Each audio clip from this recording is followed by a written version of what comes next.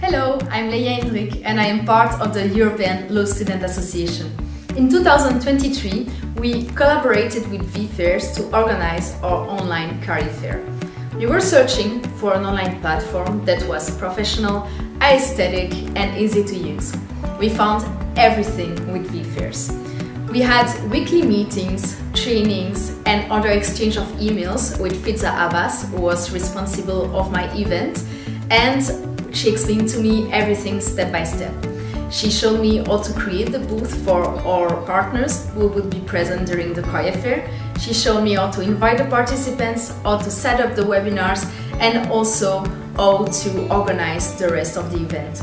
She was very attentive to our needs and to our will to respect our brand and colors. She was very kind during all our meetings and was sending me a lot of reminder emails about what I needed to do.